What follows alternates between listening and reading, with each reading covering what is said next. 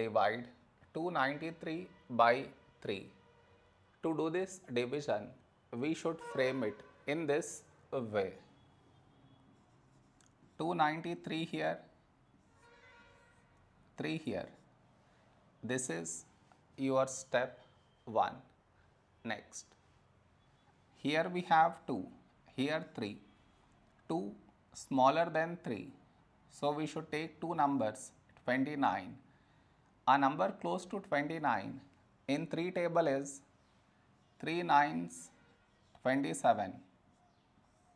Now we should subtract, we get 2. After this, bring down the beside number, so 3 down, so 23.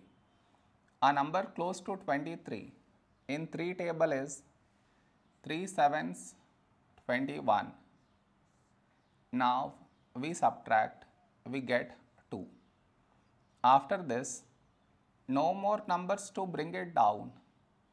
So what we do is we put dot take 0 so 20.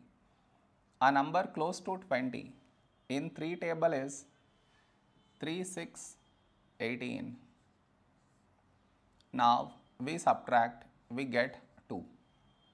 Now you observe we had 2 here and we got 2 again that means this number keep on repeating. So this is our quotient.